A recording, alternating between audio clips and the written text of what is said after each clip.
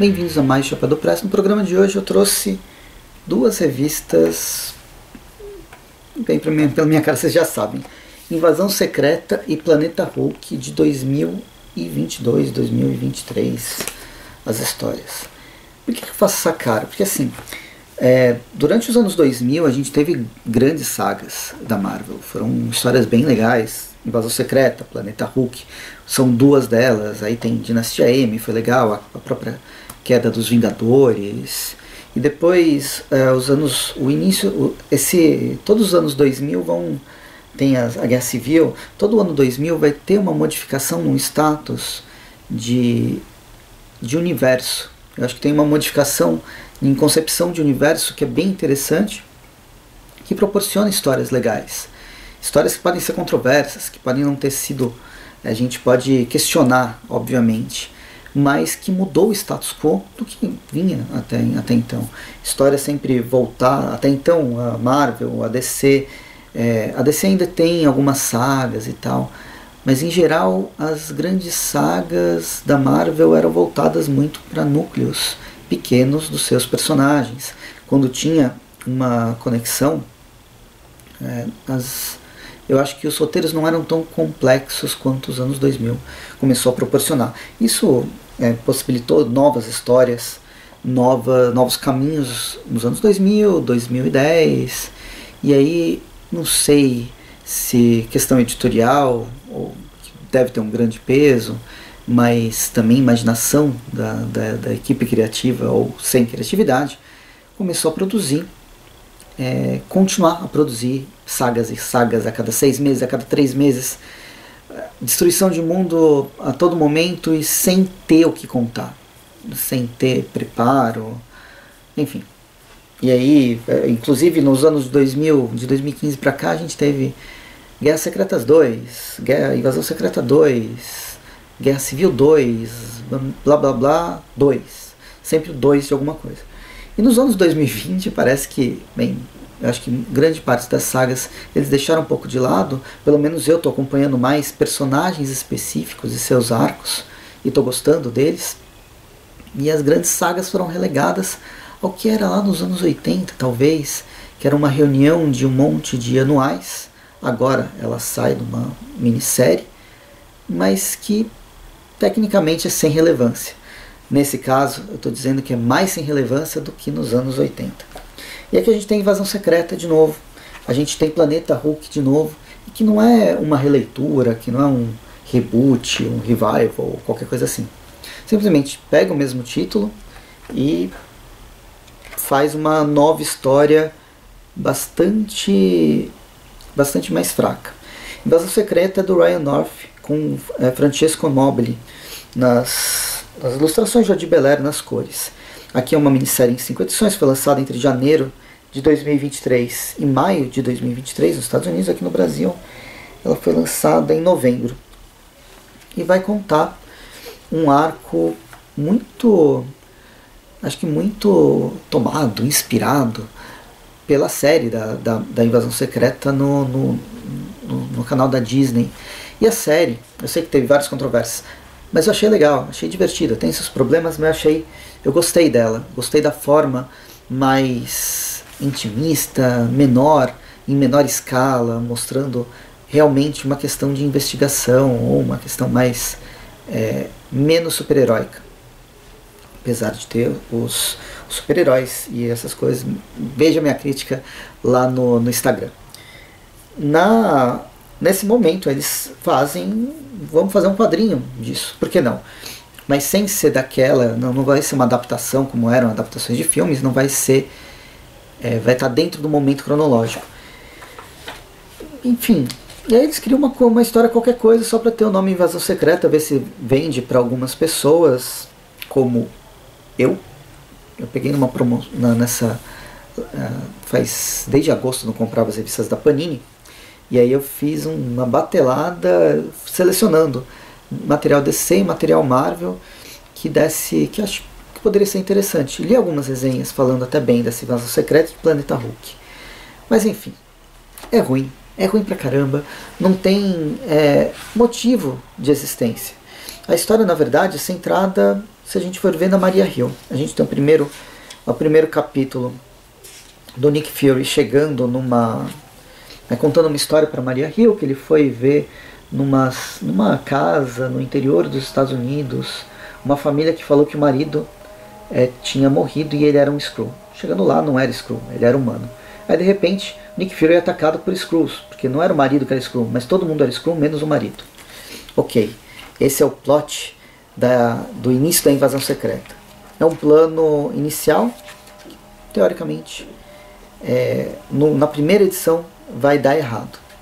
Só que a Maria Hill e o Nick Fury ficam com aquela pulga atrás da orelha que tem tendo outra invasão secreta, que está tendo outra invasão desses metamorfos e não está funcionando. E a Viúva Negra é uma, é uma Skrull e aí a gente tem é, indo para todos todo o resto do o, outros personagens, até que a Maria Hill vai falar com o, o, o, Tony Stark e o Tony Stark apresenta sua iniciativa Skrull com vários Skrulls é, no lugar dele, fazendo trabalhos do Homem de Ferro.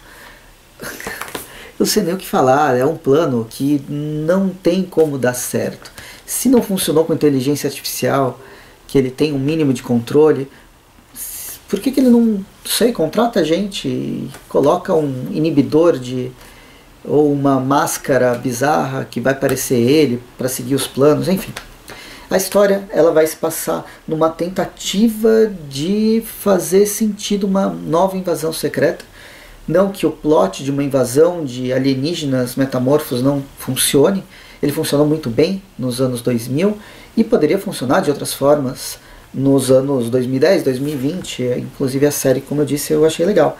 Mas essa invasão secreta foi sem propósito. Enfim. E aí a gente vem para Planeta Hulk.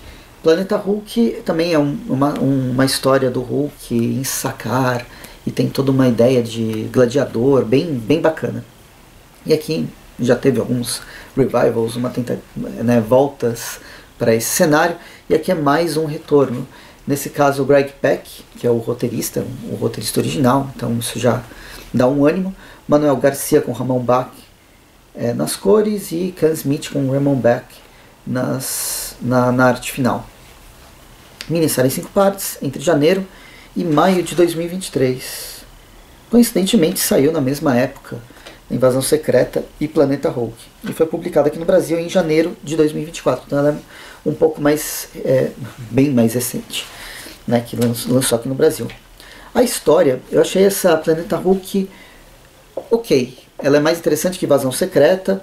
Ela se passa mil anos no futuro, onde as, os heróis verdes estão de volta em Sakar.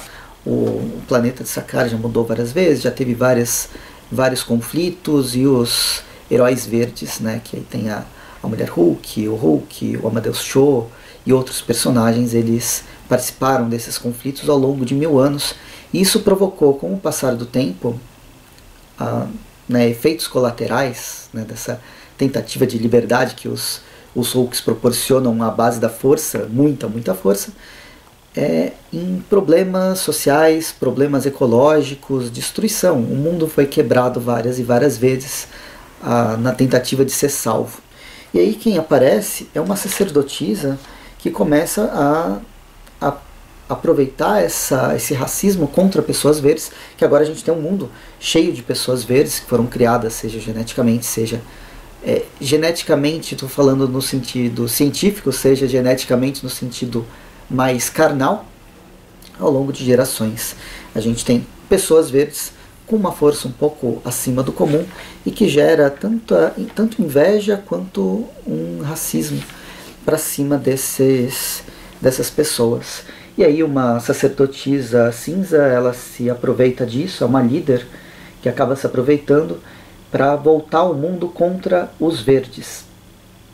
E aí a gente pode até pensar em algumas referências como os, os clássicos livros do, do Rice Burroughs, né, a Princesa de Marte, que também tem essas criaturas verdes, mas só com uma referência bem básica e tal e com essas pessoas de cores diferentes vivendo num mundo afastado.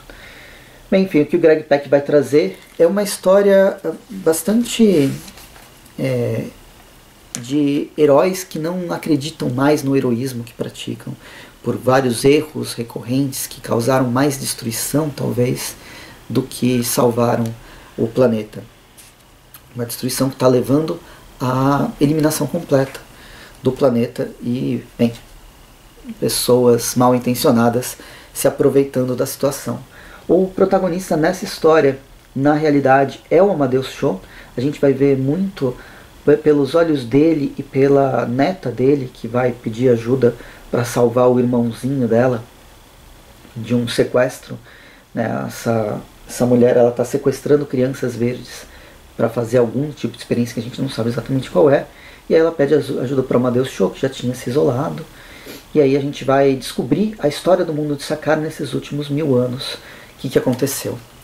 Eu acho que tem algumas falhas, é, além do, de ser uma história ok, interessante pela, pela atmosfera criada, numa, não é também é, tão épico, tão super-heróico, existe uma reticência, existe um medo de, de agir bastante grande, mas tem uma participação de uma, uma história backup do Sakar no planeta Terra ainda, e de humanos que estavam caçando é, criaturas com verdes e tal. E aí eu não sei se isso tem alguma é, ligação com algumas histórias do Hulk, porque eu não acompanho o Hulk faz, já faz um tempo. Mas é uma história meio solta, que fala do, do, do filho do Hulk, mas que você espera o filho do Hulk aparecer. Eu acho que não é spoiler falar que é uma decepção não ver o filho do Hulk aparecer em nenhum momento nessa no momento presente. A gente tem inclusive referências aos mutantes, né, aos X-Men, com sentinelas que inibem poderes gama, e inclusive eles têm a mesma cor azul e vermelha do, dos sentinelas dos X-Men.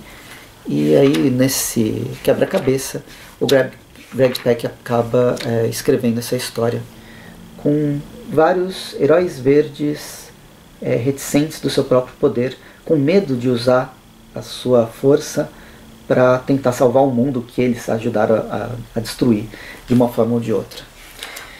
Enfim, eu fiz esse vídeo sobre invasão secreta e Planeta Hulk, as novas invasões, as novas histórias, as histórias mais recentes, mas que provavelmente passou tão baixo no radar que um monte de gente nem ficou sabendo que existiu e realmente não é grande coisa.